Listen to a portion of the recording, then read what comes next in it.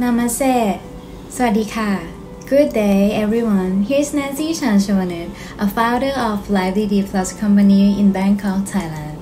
My decade of experience working alongside with the international executive partners team in Korea and Europe companies. I am specialized in business planning region and corporate strategy. My job is to responsible for supporting two other company employees on using progressive customer service skill, including interpersonal skill and mass communication procedure. I am a powerful force in the workplace and use my positive attitude and tireless energy to encourage others to work hard and succeed. I am inspired daily by my family and my lovely twins. In my free time, I like to read, dive, singing, and travel.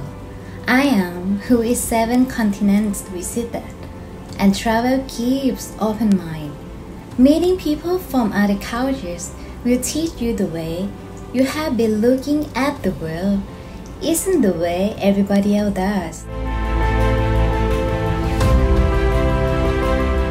As the world has changed from the COVID 19 pandemic, mankind has been affected and suffer from the virus. It means they change our life, our routines, and even our loved ones. Why? Please allow me to figure it out a little bit. If you imagine there are two sections for our life today is one for offline work routine, example like a nanny and who can work from home, such as uh, IT and graphic design, and two for active work routine, It's example like a lighter who deliver our food, and who is always in the front row job, semi fireman. But believe me, both of the two sections are important to the world. They are all equally active in their different ways, and we cannot lose one. If you're thinking of our body, we cannot survive if we don't have heart, and yet we also can walk if we don't have leg. Hello everyone, here Tanida Pompong. Today I'd like to interview Nancy some questions. Please welcome Nancy. สวัสดีค่ะ สวัสดีค่ะ the first question would be Has your business been affected from this crisis? And what the strategy could you apply in this situation? Thank you for your question. And yes, my business got so much effect from the pandemic, but we set new normal planning to the new business era. I do believe that uh, the world will not be the same and need one or two years ahead to finish the things over. So my business strategy separated two sections. For those who is the offline worker, you will need to improve your skill because you cannot go outside often.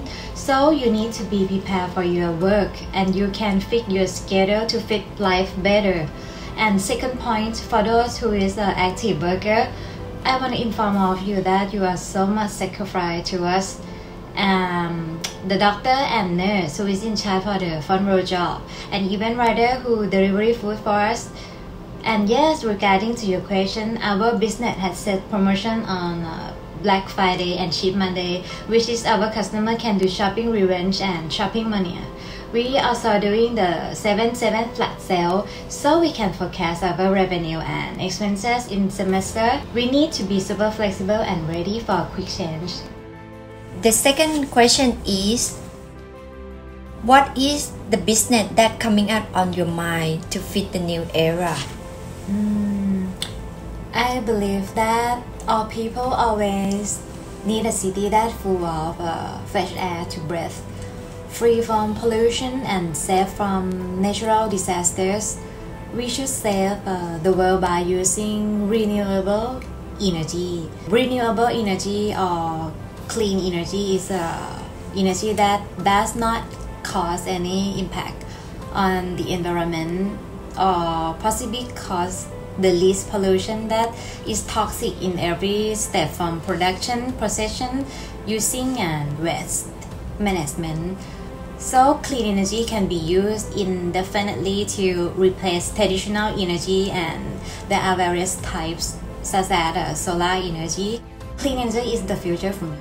The outbreak of COVID-19 has also led to an exponential increase in e-commerce business in the regions.